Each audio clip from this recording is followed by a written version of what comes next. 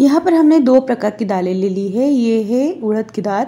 उड़द की दाल मैंने छिलकों के साथ ली है। अगर आपको छिलके नहीं चाहिए तो आप बिना छिलके वाली भी दाल ले सकते हो। यहाँ पर मैंने मूंग दाल ले ली है। मूंग दाल आपको छिलके वाली ही मूंग दाल लेनी है। इसके छिलके जो है, आपको बिल्कुल भी सेपरेट नहीं करने हैं दाल में से। और यहाँ पे जो उड़द की दाल है, उड़द की दाल के जो छिलके हैं, वो हमें पूरे निकाल देने हैं। और यहाँ पर आप देख रहे हो, जो छिलके हैं, मैंने पूरे उतार दिए हैं। और यहाँ पर आप देख रहे हो जो छिलके हैं ना, छिलके मैंने पूरे उतार दिए हैं। यहाँ पर दोनों दालें मैंने मिक्सी के जार में डाल दिए हैं। मिक्सी के जार में डालकर हमें उसे सारा मसाला उसके अंदर डालना है। ये हमें दरदरी सी पीसनी है, बहुत ज़्यादा फाइनली नहीं पीसनी है। यहाँ पर मैंने ले लिए है अदरक, लहसुन और थोड़ा सा सॉल्ट डाल दिया है इसके अंदर। सॉल्ट आप अपने हिसाब से ले सकते हो। आपको कितना स्पाइसी चाहिए, आपको कितना नमक चाहिए, उसके हिसाब से आप सारे मसाले ले सकते हो। यहाँ पर मैंने डाल दिए ना थोड़ा सा धनिया पाउडर। धनिया मैंने डाल दिए इसके अंदर और ये हमें ना पूरा बैटर है, अच्छे से मिक्स कर देना है। यहाँ पर मैंने डाल दी है थोड़ी सी सौंप थोड़ी सी तिल डाल देनी है थोड़ा सा अजवाइन डाल देना है। और ये सारी चीज़ें हमें एक दूसरे के साथ मिक्स कर देनी है। यहाँ पर मैंने एक कटा हुआ मीडियम साइज़ का प्याज ले लिया है।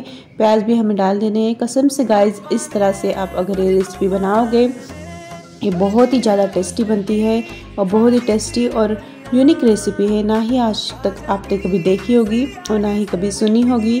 तो ऐसी रेसिपी जो है, आप अक्सर घर पर ट्राई किया कीजिएगा। अगर सब्ज़ी रोटी खाने का मन नहीं है, अगर नाश्ते में पोहा खा के हो गए हो बोर तो ये रेसिपी आप ज़रूर ट्राई कीजिएगा। कम मेहनत में बहुत ही अच्छी सी और बहुत ही यूनिक सी रेसिपी बनती है। ये सारी चीज़ें हमें एक दूसरे के अंदर, एक दूसरे के साथ अच्छे से मिक्स कर देनी है और यहाँ पर आप देख रहे हो, ये सारी चीज़ें मैंने एक दूसरे के साथ अच्छे से मिक्स कर दी है। अब यहाँ पे ना बारी आ जाती है, इसे थोड़ा सा रेस्ट कर देंगे पाँच से दस मिनट के लिए। पाँच से दस मिनट के बाद इसके इसके हम बड़े बनाएँगे। अभी यहाँ पर मैंने ये सोडा डाल दिया है। थोड़ा सा बस थोड़ा सा ही डालना है। आपको बहुत ज़्यादा नहीं डालना है।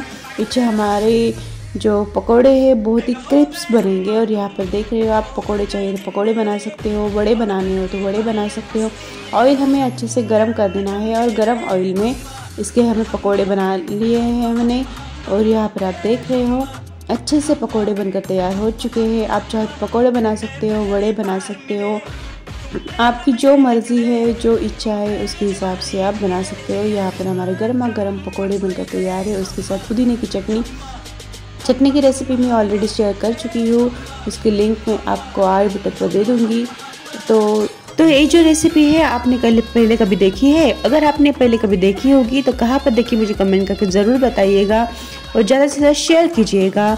और न चैनल पर नए हो तो चैनल को सब्सक्राइब करना बिल्कुल नहीं भूलना। आप किसी एक सब्सक्रिप्शन से एक लाइक से मुझे मोटिवेशन आता है और मैं नई नई ऐसी ही वीडियोज़ आपके लिए लेकर आती हूँ।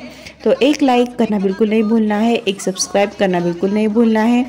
कमेंट करके बताइएगा, आपको ये रेसिपीज़ कैसी लगी, आपने कहाँ पर देखी है? और ज़्यादा से ज़्यादा शेयर कीजिएगा ताकि नए नए वीडियोस सबको मिले और हमारी और जो फैमिली है और आगे बढ़े। तो ये था हमारा आज का वीडियो। फिर मिलेंगे और नई रेसिपीज़ के साथ। तब तक के लिए बाय